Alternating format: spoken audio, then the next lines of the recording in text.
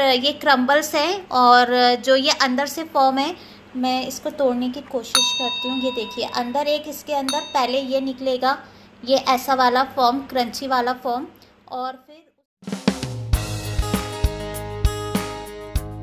Hi everyone जैसे कि आपको पता है कि मैं प्रोडक्ट्स के रिव्यूज़ लेकर आती हूँ तो इस बार जो मैं न्यू प्रोडक्ट लेकर आई हूँ वो है फेरो रॉशर मूवमेंट्स जैसे हम सबको पता है कि फेरो रॉशर्स की चॉकलेट्स आती हैं, जो देखा जाए तो एक अपने आप में एक्सपेंसिव आइटम है, थोड़ी लग्जरी चॉकलेट्स में आ जाती हैं।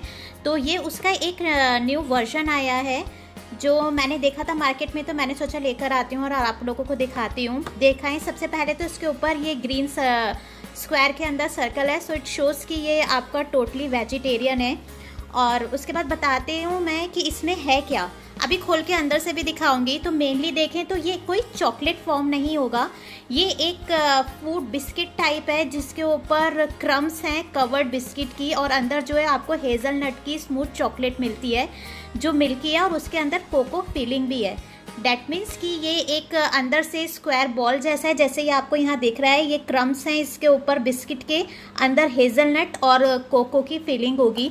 अगर इसके बाकी चीज़ों पे आ जाते हैं तो मैं सबसे पहले आपको बताना चाहूँगी कि इसके अंदर कुछ चीज़ें हैं इंग्रेडिएंट्स ऐसी हैं जिससे आपको मे बी एलर्जी हो सकती है तो उन्होंने अलग से मेंशन किया है।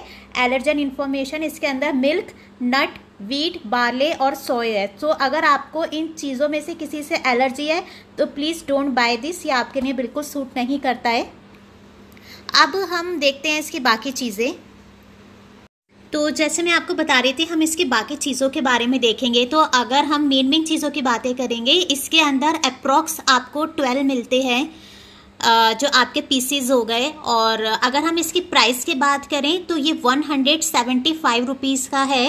अप्रॉक्स पर पीस हमें ये ट्वेल्व रुपीज़ अप्रॉक्स के आसपास पड़ जाता है।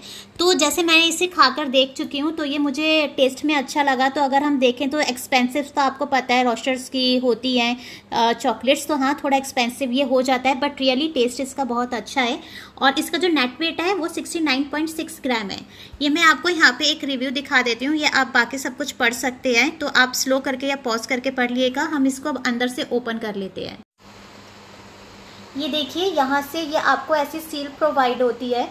तो आप इसको ऐसे करके खोल दिए, ये खुल जाएगा यहाँ से। मैं इसको एक बार खोल चुकी हूँ तो मैं आपको बॉक्स यहाँ से ओपन करके दिखा देती हूँ।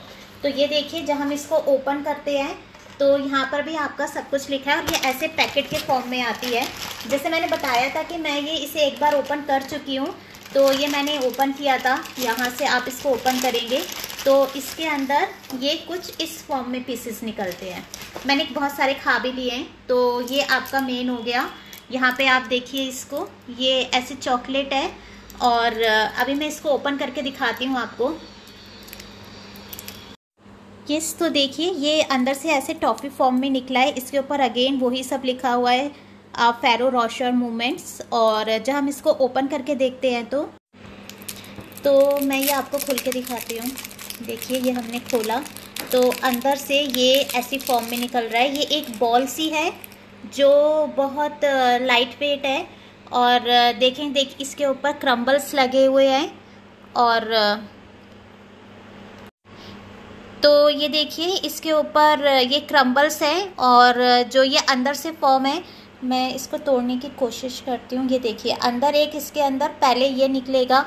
ये ऐसा वाला फॉर्म क्रंची वाला फॉर्म और फिर उसके अंदर जो है वो ऐसे चॉकलेट है, जो हमने कहा था हेज़लनट निकलता है। तो ये हेज़लनट और कोको की फीलिंग है।